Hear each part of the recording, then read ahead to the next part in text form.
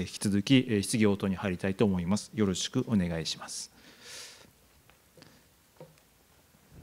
どなたか質問、あるいはコメントでも結構ですので、お願いしたいと思いますが、あでは岩田委員長、お願いします。なかなか理解するのが難しいの話だったんですけれどもね、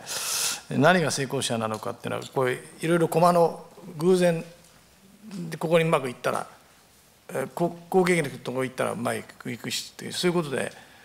も考慮しながらやりなさいということなんだと思うんですけどね。でこういうふうにやっていくと結果的に分散投資した方がいいというふうに結果がなるのかそういうふうにゲームが仕組まれているのかもう安全一本でいった方がいいよというふうになってくるとここの金融商品として現金預金がないんですよね日本の場合にはほとんどの場合は現金預金が圧倒的なんですよね日本のあの家計は。だからそうするとこのゲームのやり方によっては現金預金が一番いいよというような話に なったりする可能性もあったりしてイベントがいろいろあるとどういうふうなのがいいっていうふうに学ぶようにできてるのですかねこれちょっとそこを聞きたいんですけどねなんかその場その場によってどうやって投資したらいいかはわからないということになるんですか？このこれを実践してみると。どうぞいかがでしょうか？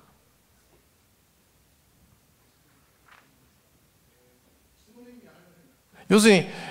何が出てくるかわからないよっていうことからから気をつけなさいよっていうことだけを学ぶのかっていうことなんですよ要するにね。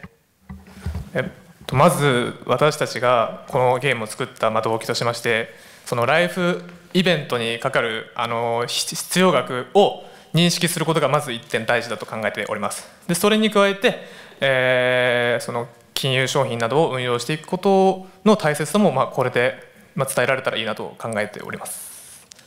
えっと、あそれでは浅田様お願いします。まあ、あのいただいた提案書を読ませていただいたときは、あまりよく分からなかったし、えー、これでいいのかなっていうふうな感覚があったんですけど、今のプレゼンテーションをお聞きして、だいぶあの分かりやすくなりました。あの今の委員長のお話も含めてなんですが、少しあの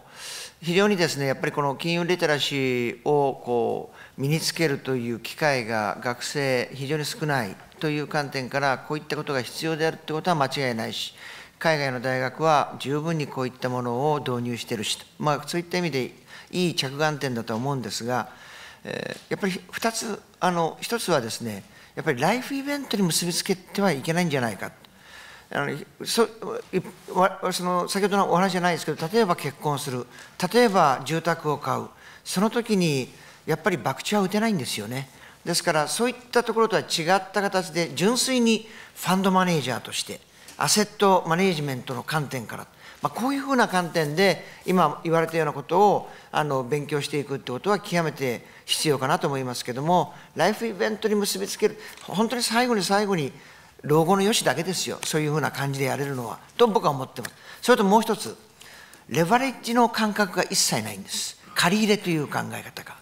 えー、必ずその今のあのインベストメント、あのアセット運用であるあるあにしても、あるいはこのライフイベントに結びつけるときの、じゃあ住宅を買うとき、こういったときには、ほとんどが自分のキャッシュと住宅ローンでやるわけですから、その住宅ローンの感覚がこの中に入ってないっていうのが、ちょっと残念だったなという感覚はありましたけど、まあ、あのただ、このプレゼンテーションで、だいぶあのおっしゃってる、提案したいことについては、理解することができました。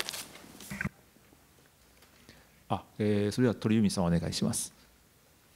はいえーと、金融教育の必要性というところはもう私ども、まあ、あの私どもの業としてもですね あのやってますので非常に共感できるところなんですけれどもこれ今今日のゴールがより多くの資産を残す残した人が勝ちっていうゲームになってると思うんですけれども必ずしもあの老後に最後たくさん資産を残せばいいというものでもない必要な分だけあればいいんじゃないかというような気もしましてそのライフステージによって必要なものがあるんじゃないかというふうにちょっと思ったんですがそこをあえてこう最後に残した方がいいみたいなあの結論を取った何かそこ議論っていうのはあったんですか？はい、えーと、今回なんであの一番最後資金を増やすことができたプレイヤーが勝利かということはまずまあ、第一はゲーム性を面白くするためということで、えー、一番増やしてプレイヤーが勝利っていうふうにとっています。加えて、えっと、僕たち目線で話して話させていただくとやっぱりその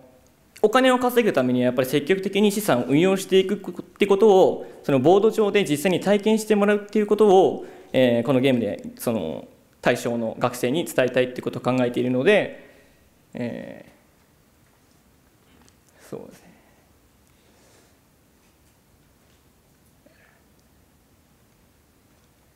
すみませんお答えになってるか分からないですけど今のです。すみません。わかりました。それではあえっと先ちょっと原田委員の方お願いします。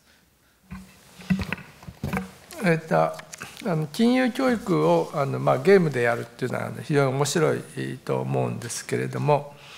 えー、とこれ問題はですね、まあ、私の思うところこうライフイベントっていうのは、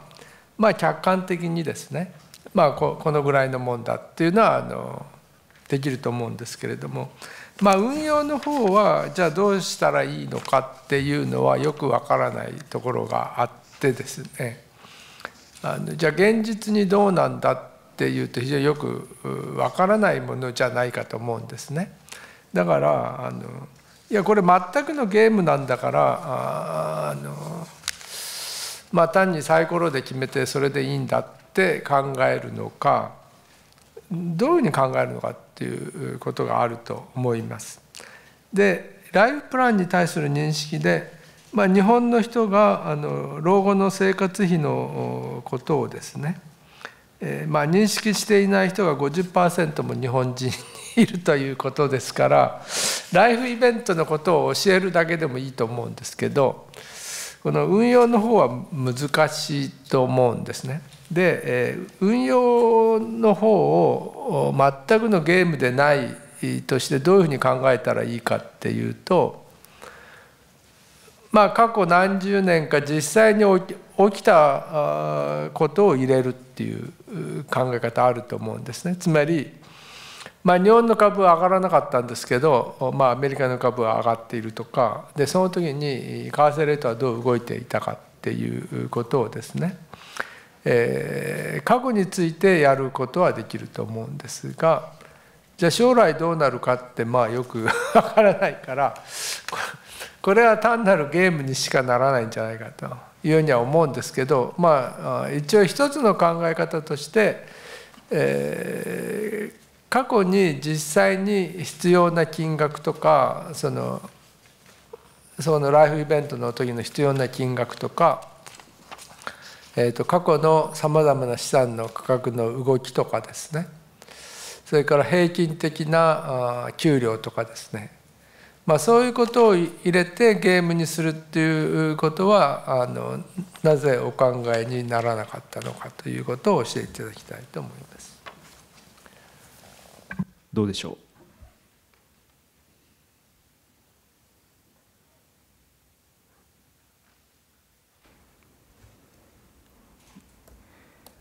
はい、えーと、今回なんですけどこのゲーム自体、えーまあ、審査員の方々のおっしゃる通りかなり、まあ、意見をふざけに見るような内容になって見えてると思うんですけど、まあ、僕たち自身あの大学に入って経済の勉強をして初めてこう経済を肌で感じる機会ってすごく増えたんですね。その機会っていうのがやっぱり自分の頭で考えてで実際それを調べて興味を持つそういうことがすごく大事だとあの大学に入って学びましたでそういう学びを対象は一応さっき漏れてしまったんですけど、えー、主に高校生を対象に考えているんですけどもそういう高校生を早い段階からそういう金融経済教育に興味があるのであればあこう経済ってこういうふうに動くんだな株式ってこういうものなんだなっていうものを少しでも興味をもらってもらうきっかけのツールとして、え、今回こういった形で提案させていただきました。あそれでは、ふの委員、お願いいたします。あのゲームを使ってこういうあの金融リテラシーといいますかねそれを教育するというのは非常にいいアイデアだと思うんですけれどもあの、まあ、これでもってあの何らかの知識知識は増えるんじゃないかという気がするんですねこういう金融商品があるよとかそういったようなことですね。ただそのこのゲームでどういうふうな行動の変化をね皆さん期待されるのかされてるのか、えー、という観点で見るとですねなんかそれがちょっと予測聞いただけでは予測できないんですがそこで質問はですねこのゲームは皆さん何回かというか相当回数やられたのかどうかというのが質問の第一。その2番目の質問というか同じ質問の一質問の質問の一部ですけどどういう人が勝ったんですかね？要するにあの非常にリスクテイキングな行動を取った人が勝ったのかそれともそういうそうじゃなくてもうあまりリスク取らない人が勝ったのかないしは傾向がないのかそういうを見ることによって皆さんの作られるゲームが何を期待しているのかというかどういうことをやられようとしているのかというのは明らかになってくると思うんですけどもやってみられましたかね？どうぞ。えーと、私たち自身ももちろんややりましたし、えー、中学生高校生のたちにもやっていただきました。ちょっと時間が、えーと、このスライド提出後になってしまったので今回はここに移せなかったんですけれども、はい、あの学生たちにもやってもらいましたし私たち自身もやりましたで、えーとまあ、反応としましてはやはりその座学での授業座座学での授業、まあ、例えば中学生ですと公民の授業などではやはり読み書きだけの授業がほとんどですのであまりこう頭に入らないという意見が多かったです。まあ、あのこういったゲームを通すことでその自分で、えー、金融商品を購入したりすることで、まあ、座学の授業に比べてより頭に入りやすかったという意見はいただきました以上ですあそれではあの、えーえー、委員長お願いします。今あの一番最初に僕が質問したのはまさに文野さんがおっしゃったことなんですけどね。要するにどういうふうにあの資産形成したらいいかっていう結論になるのかっていうことが知りたかったんですけどね、まあ、それはじゃあまあ差し置いておいてもう一つあのこれは鳥海さんが質問したのと関係あるんですけれどもまずこのサラリーっていうのはどうやって決まってるのか。それから目標ですねイベントごとの目標額は誰が決めるのか初めから決まってるのか。そうするとですねずっとこうサラリーが決まっててこう売買していてイベントが来た時にその結婚の費用っていうのを目標があったらそれを払わない払わない必ずいけないから得た所得とその金融資産から得た所得からこれをまず引いて差し引いてそして次のステージの最後をやっていってで最後に結局残ったのが一番大きいというんなら分かるんですよね。だからねあの最後に残すそのこれ払ってるんでしょ実はその途中で。どうなんですか？実際に。結婚費用払ったり住宅費用払ったり。えっと、今回あの、まあ、時間の都合上あまり詳しくは説明できなかったんですけれどもあのおっしゃった通り、えー、結婚ステージに関してはその最後に、えー、その費用を支払うという、まあ、えあその時？その時払うから次に手元にいくらになるから資産運用はこれができますよってなるんだから。最後の死ぬ時の寸前に払うわけじゃないでしょ。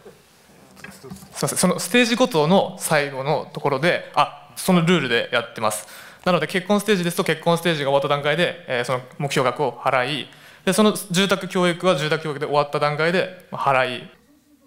目標は誰が決めてるんですか？額は。今回はあの日本 FP 協会の、えーと、ライフイベントごとの支出額を、えー、参照に、えー、設定いたしました。ごめんなさいね長くて。実際の設定はどうかっていうとね人生は。結局お金がないしたまんなかったら結婚費用が、ね、地味婚にしようよとそういうことになるんですよね。であれば豪華にやりましょうとそれからもっとたまっていれば住宅がいいの買いましょうけどでもこれがたまんなかったら住宅っていうふうに目標額っていうのを決めても必ずしもそれを支出しないわけですよね。でおそらくみんなこう確かにあなたにこの広報委員会でやるとねライフプランしないっていう人いるんでびっくりするね確かにね。私もいいんだ一人だから。だから日本人の行動ってそういうことなんでね。結局ダメだったら地味込んでいこうよ。ダメだったら住宅もう借家人でいこうよとかなんかその程度でやってんじゃないかなというふうに思うんで。はいあの今回はあのもう目標額はもう私たちで設定している。はい。浅田さん言った問題が出てくるんですよね。借金しないとつまり債務超過になっちゃうから借金しないとおかしいよっていう話になっちゃうんですね。ちょっと設計が問題があるんじゃないかと思います。えー、それでは、えもしよろしければですね、これ、金融教育の観点ですので、金融広報中央委員会事務局している情報サービス局の鶴見局長、一言、もしよろしければ。いきなりここで出してくると思いませんでしたけど、あの金融教育が大事だっていうことにですね、学生さん自らがこうやって提言いただくことは本当に嬉しい限りでありますし、そういうあのイベントをですね、みんなでこうそれぞれ起こった時に、まあ株というものなのか債券なのか分かりませんけどそれを売ったり買ったりしてみるということをですねあの経験するのはとてもあのそういうそういう知識をですね得るということは本当にいいことじゃないかなというふうに思いました。でちょっとあの浅田さんにやや反論なんですけれどもやっぱりライフイベントをですね考えながら、まあ、あの資金を借りたり運用したりないしはサラリーをこう積み上げていくっていうですねまそれはあのやっぱり重要じゃないかなというふうに我々金融広報委員会は思っておりますのでやっぱりあのライフイベントをまずもって知ってもらうっていうかですねそういう流れがどういうふうに来るのか。あとちょっとこれ雑の中でですねちょっと思ったのは結婚って例えば学あの20歳から始まると何歳ぐらいをイメージしてこの回転数は何回転ぐらいすることをかするのかとかですね。あと住宅は住宅でいつ頃買いそれをどうするのかですね。老後は確かに60とか70ぐらいからでしょうけどそれを何回転してこれゲームするのかってですねこの時間軸がよく見えないなと思ったんですけどそこのところはどういうふうに考えたんでしょうか？これもすごく安直な考えになってしまうんですけれども一周を10年と見立てて、結婚は30歳で、するということを仮定し、えーえ一周のみで住宅教育は先にもうあの住宅を購入するということを想定してローンの返済を10年ごとに払うということで3週合わせて30年。で老後はえまあその大体80歳が平均寿命ですのであ、まあ、もうちょっと高いんですけれどもなので、えー、と20年で2週という、まあ、こういった安直な考えで今回設定させていただきました。あ分かりました。あけどあの大変ありがとうございました。あのシルポルトに載せるかどうかはちょっと検討させていただきたいと思いますけれど とてもあの楽しいゲームな感じがしますのであの採用できるかどうか検討してみたいというふうに思います。ありがとうございました。どうもありがとうございました、えー、どうも本当にプレゼンテーションあの私もやってみたいなと思ってみたんですが、えー、今回のプレゼンテーションはここで終了させていただければと思います。皆さん盛大な拍手をよろしくお願いします